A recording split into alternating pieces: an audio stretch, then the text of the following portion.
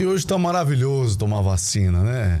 É, os enfermeiros, enfermeiras ali, especialistas, profissionais, dão uma vacina. Nem dói, nem dói.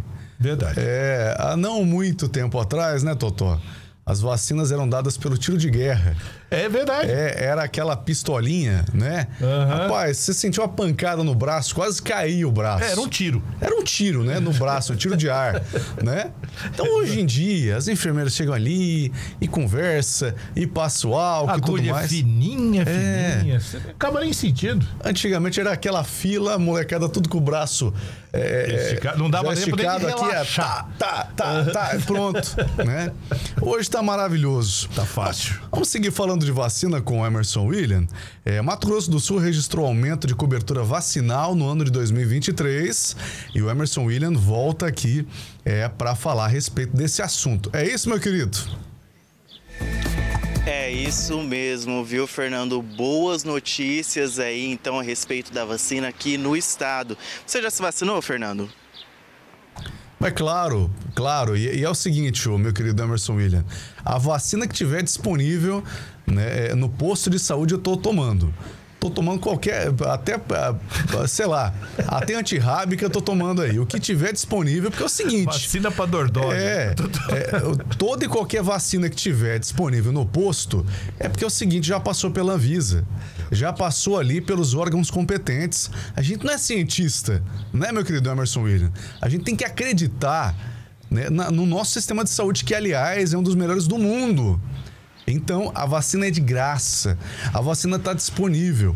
É só você, chegar lá é, e tomar a sua vacina. E, logicamente, a você que é pai, que é mãe, é, não, não faz mais que sua obrigação em levar o seu filho, sua filha, para cuidar disso aí. Vale lembrar, meu querido Emerson William, é, que há alguns anos, algumas décadas, é, muitas pessoas né, ficaram surdas, é, ficaram com problemas motores por falta de vacina porque não tinha vacina para algumas doenças nessa época e acabaram, é, acabaram infelizmente, é, contraindo a surdez é, ou então é, é, problemas motores aí.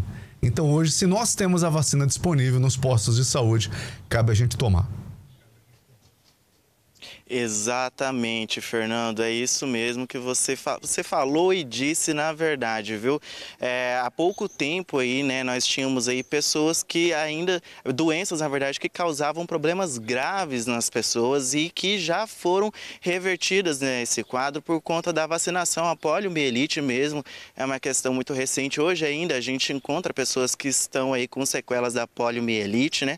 Mas isso já ficou no passado. Hoje nós, te nós temos a vacina aí da poliomielite que previne todas essa, essas, se- essas sequelas que são deixadas aí pela doença graças à vacina. Nós erradicamos a poliomielite no Brasil graças à vacinação. Eu também eu tive uma mãe, um pai que sempre me levaram aos postos de saúde para me vacinar. Graças a Deus hoje também eu acostumei né, com esse hábito aí de sempre que sair a vacina para algum tipo de doença, ou sempre que tiver que atualizar a minha carteira de vacinação, eu sempre fui aos postos de saúde. Meus pais me levaram e agora eu, quando adulto, eh, vou por conta própria para me vacinar, porque eu sei o quão é importante a vacinação. E a gente traz boas notícias, Fernanda, a respeito da questão da vacinação aqui no estado de Mato Grosso do Sul.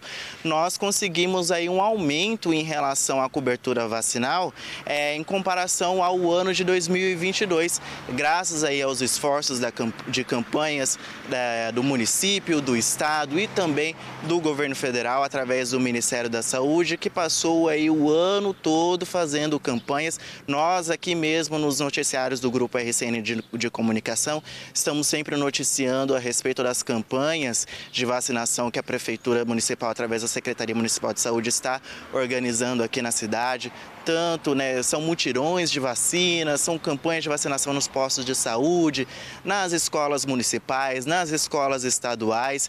E com esse esforço, Fernando, nós conseguimos aí aumentar a cobertura vacinal em relação ao ano de 2022. Olha só, segundo dados do Ministério da Saúde, de janeiro a outubro deste ano, a vacina da tríplice viral, a primeira dose da vacina tríplice viral, lembrando que são duas doses, então precisa ter as duas doses para ter o esquema vacinal completo, mas a primeira dose da tríplice viral em 2022, ela registrou uma cobertura de 91,8%. Nesse ano de 2023, nós aumentamos para 95,1%. A vacina da poliomielite, né, como eu citei, que erradicou a polio aqui no Brasil, nós tivemos aí um aumento em 2023 que ficou na casa dos 80,3%. A vacina da DTP passou de 76% em 2022 para 79,2% em 2023. A vacina da febre amarela passou de 71,3% para 73,5%. Lembrando que esses dados, Fernando, são de janeiro a outubro de 2023. Tá? Então, o Ministério da Saúde ele preconiza que uh, o mínimo, né, o, o, a cobertura vacinal mínima para essas vacinas aí que contemplam a população infantil até o primeiro ano de idade, a cobertura vacinal mínima é de 90%. Tá? Então, a, a única que atingiu essa cobertura mínima foi a vacina da tríplice viral. Mas nós já temos outras vacinas, como a da polio, a da DTP, que estão perto aí da casa dos 90%. Então pode ser que nós consigamos encerrar aí esse ano de 2023 com pelo menos essas três vacinas aí citadas na casa dos 90%, que é o mínimo preconizado pelo Ministério da Saúde para essas vacinas que contemplam a população infantil de até um ano de idade tá? E esse aumento aqui no estado de Mato Grosso do Sul, ele também segue uma média nacional. O Brasil vem enfrentando, Fernando, segundo dados do Ministério da Saúde também, é, nos últimos sete anos, uma baixa na cobertura vacinal. É, nós tivemos aí a pandemia, né? Agora nós temos a vacina aí que protege contra o vírus da, da Covid-19 e mesmo assim, mesmo com é, o esforço do Ministério da Saúde para, para imunizar a população tanto quanto a vacina, para, para a vacina da Covid, quanto para as outras vacinas que são necessárias né, para a população infanto-juvenil, principalmente que é ali já no início ali da, da, da vida que tem é, uma, um programa nacional de imunizações aí completo para é, fornecer uma proteção aí para essa população, a cobertura vacinal manteve em baixa é, nesse, nesse período de sete anos. Mas agora, em 2023, graças aos esforços do Ministério da Saúde, em várias campanhas realizadas em todo o Brasil, várias vacinas tiveram o aumento. Foram oito vacinas que registraram esse aumento. Eu vou citar aqui. Foram a hepatite A, a vacina da poliomielite, a pneumocócica, a meningocócica, a DTP, a tríplice viral primeira e segunda dose e a febre amarela, que foram as que atingiram aí a cobertura vacinal, aumentaram na verdade a cobertura vacinal neste ano de 2023, na segundo a média nacional.